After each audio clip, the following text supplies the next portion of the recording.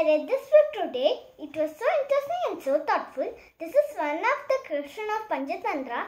The topic is uh, the the story is about the faithful mongoose. Let us go into the story.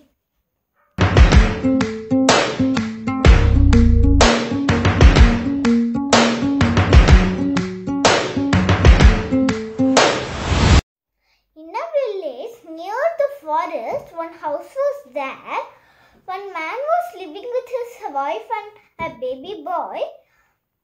The man uh, saw a baby mongoose. one day, the man saw a baby mongoose.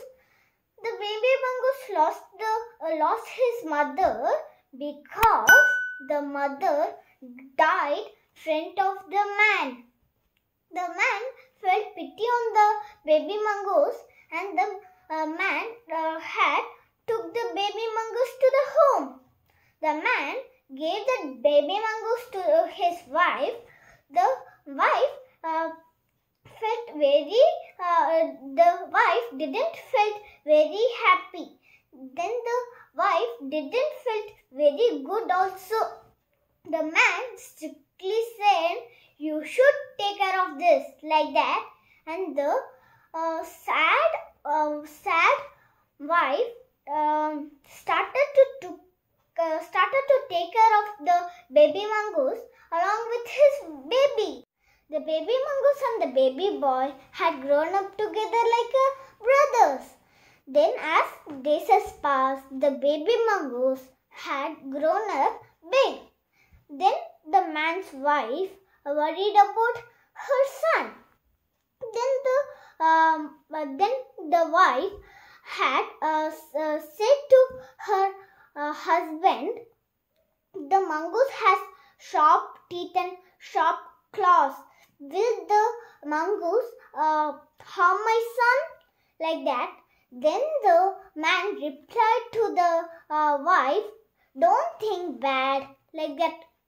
One afternoon, the woman had to go out to fetch water. The mongoose and her son were sleeping, so that she left them in the house and she left the house. Suddenly, the mongoose had woken up, uh, woken up from the sleep, and he saw a uh, he saw a huge snake near the boy. The mongoose, a brave, the brave mongoose had fought, uh, uh, fought with the snake and killed the snakes.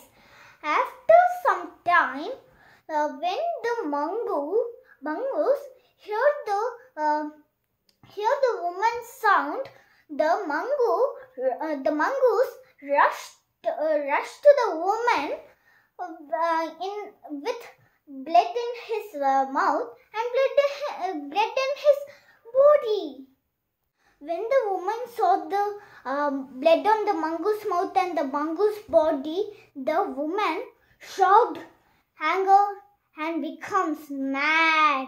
The woman, um, the woman uh, shouted furiously, "What did you do to my son, you wild animal?"